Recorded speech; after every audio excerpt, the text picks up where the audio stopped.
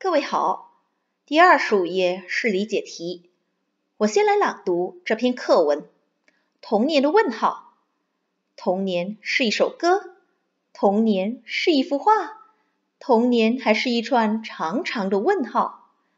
有个英国男孩名叫牛顿，他看见苹果从树上掉下来，便思考：苹果为什么落到地上，而不是？飞向天空呢？还有一个英国男孩，名叫瓦特，他看见水烧开了，壶盖不停地上下跳动，就好奇地问姑妈：“壶盖为什么会跳舞？”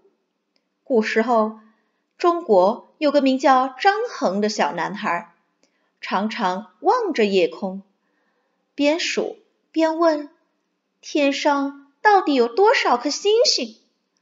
孩童就这样在问号中长大了。后来，牛顿、瓦特和张衡都成了有名的科学家。第一道题，课文中的作者如何形容童年？第一道题的答案呢，直接可以在课文中的第一段找到。作者是如此形容童年的。童年是一首歌，童年是一幅画，童年还是一串长长的问号。来，这个就是答案了。我们来看看第二道题，根据课文配一配，连一连。各位，我们来看看课文中的三位主要人物，常常都在做什么呢？看完之后。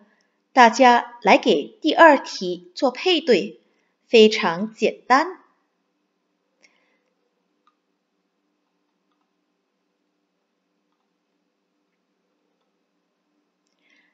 第三题，根据课文，牛顿、瓦特和张衡有什么共同点？请在正确的答案旁打勾。各位。